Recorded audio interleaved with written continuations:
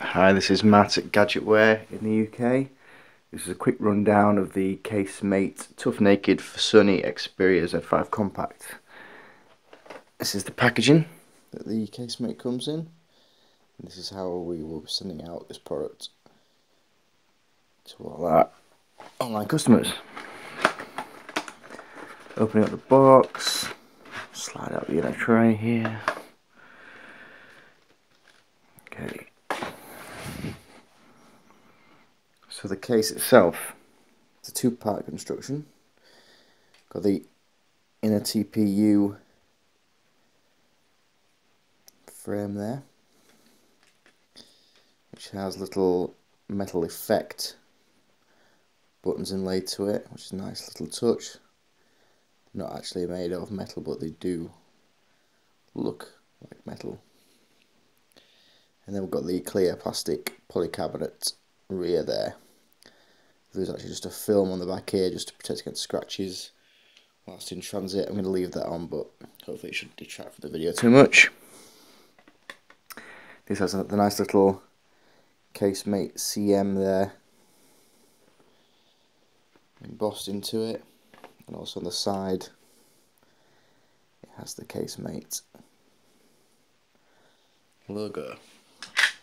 So the best way to put these on is to put this on first line up the buttons and all the ports.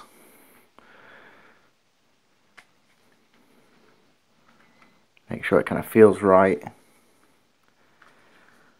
before putting on the next part. When you do it should just clunk nicely on all four corners and that's it. Installed. So it doesn't add too much bulk feels nice in the hand. It's not going to be a grippy case as such because it's not a matte finish it's a gloss finish so you know it's not going to add any extra grip as such. But it does feel good in the hand. It doesn't feel like it's going to fly out the hand anything like that. So it's adding on you know a couple of millimeters here front and back. But uh, yeah it's really keeping it on the slim side still we've got a raised lip all the way around there which means it's going to be protected face down. You're going to have that touching the ground instead of the phone screen, which is great. Good protection on the corners. All four sides are obviously covered there.